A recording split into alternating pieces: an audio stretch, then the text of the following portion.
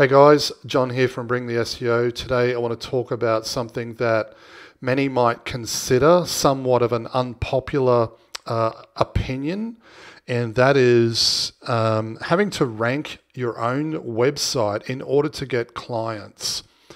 This is something that has been on my mind um, throughout the week, and it's it came about because I received a comment that was posted one of my Facebook ads. I'm running Facebook ads at the moment in order to promote the SEO Accelerator program. Um, it's the same strategy that I use myself to get clients um, as well as customers for the program, and it's the same strategy and sales funnel that all of the students are currently using to get themselves clients.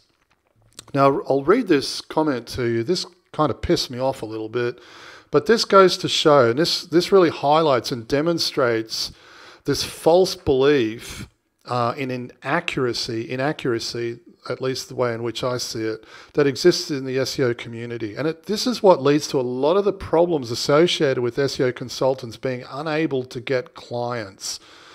Now, I'll read this to you. It says if an SEO agency has to chase clients instead of backing their products and services, services by ranking their own website organically and getting their own traffic, then that's an agency that clients should stay away from.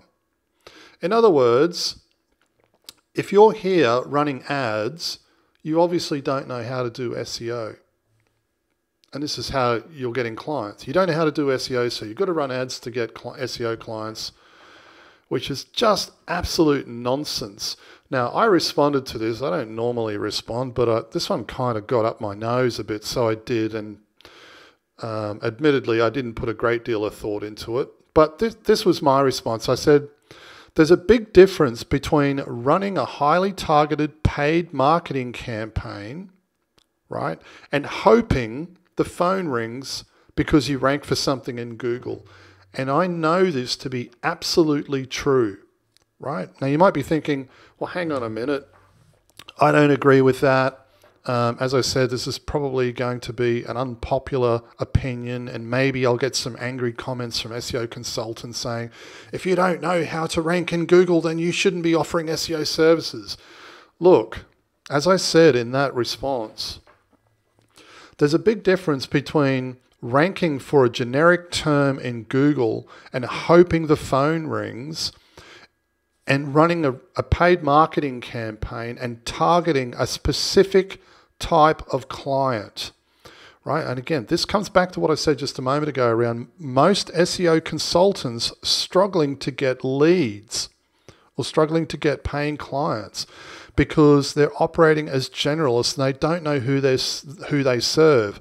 And this leads to this behavior of believing that, hey, in order to get clients, we need to demonstrate that we can actually rank in Google. So let's go and invest all of this time, money, and effort and rank for something meaningless like SEO Sydney or SEO New York because that's what we can see. There's search volume there. And if we can demonstrate that we can rank for this term, then hey, we're on a winner. That, for the most part, is absolute nonsense. And I'll tell you exactly why. Because when you're ranking for generic terms like that, you have no control over the types of leads that come through. This is incredibly important and this revisits everything that I talk about in the training program as well as here on my YouTube channel. If you don't know who you serve, then you're going to be getting all sorts of nonsense coming through. Dentists, landscapers, people selling sunglasses, um, you know, people wanting to rent out, you know, jumping castles for birth, children's birthday parties. It's going to be an absolute, it's going to be an absolute mess. And because of that, you're, you know, look, I could speak underwater for with a mouthful of marshmallows for an hour at a time on this topic. I won't in order to try and keep this video short. But when you're ranking for generic terms like that, again, you're going to have no control over the types of leads that come through. Now, when you're running a paid marketing campaign, you can say, right, we specialize in SEO for roofing contractors, let's say, and we're just going to target those people.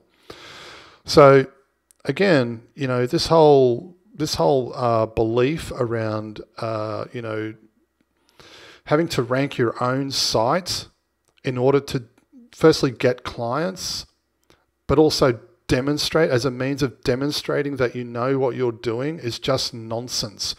I've signed up hundreds of clients over the past, you know, 17, 18 years, and most of them couldn't care less what I ranked for or what I, or what I didn't. And for those who made a fuss about it, I turned them away. Maybe I'm turning this into a rant, I don't know. But just be careful. I think, look, I'll finish this by saying, I'll, I'll finish this video by saying this. Should you rank your own site in order to get clients? Well, the answer to that is actually yes, given everything that I've already just said. So long as you're ranking for terms that target your most ideal prospect.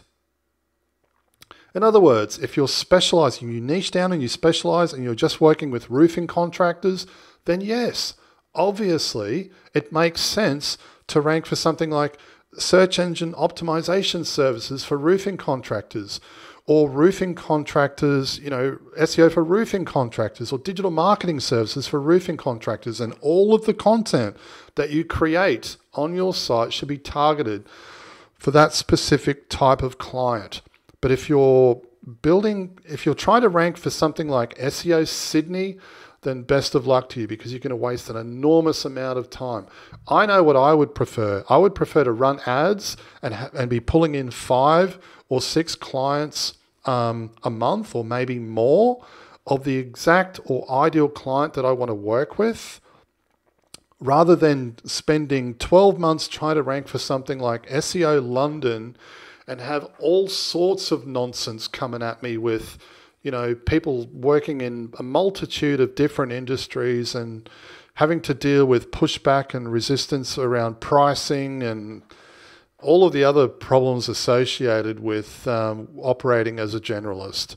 So um, I'll leave you with that to think about. Don't waste time trying to rank your own site in Google in order to get clients or have the, carry this false belief that no one's going to work with you unless you can demonstrate that you can, you know, rank your own site, your own agency site in Google because it's just not true. All right, guys. Hope you've enjoyed this video and I'll see you in the next one. Cheers.